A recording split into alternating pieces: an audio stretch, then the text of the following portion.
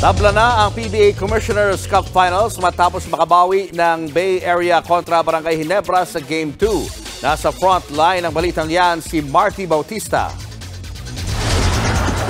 16,000 fans ang dumagsa sa The Big Dome kagabi para sa pinakahuling PBA game ng 2022.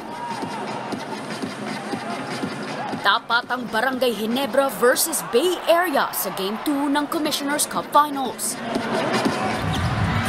Maagang lumamang ang mga taga-barangay na gustong makuha ang 2-0 series lead.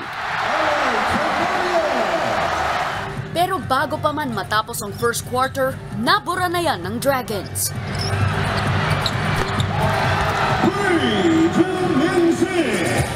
Lumobo hanggang 20 puntos ang lamang ng Bay Area.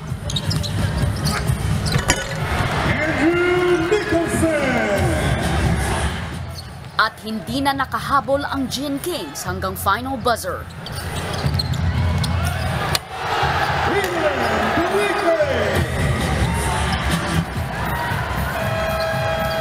Final score, 99 to 82 para sa Bay Area at tabla na ang serye. May combined 55 points in Andrew Nicholson at Song Wei Zhu para sa Bay Area.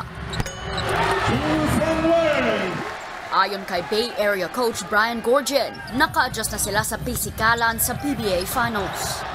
Tonight, we defended without fouling. We made the adjustments according to the PBA rules of playing D without fouling. And to move forward, we got to stay on that page. Magbe-break muna ang final series para sa pagsalubong sa bagong taon.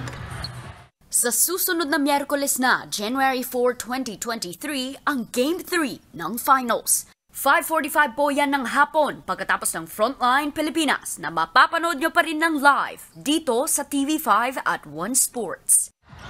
Nagbabalita mula sa Frontline, Marty Bautista, News 5.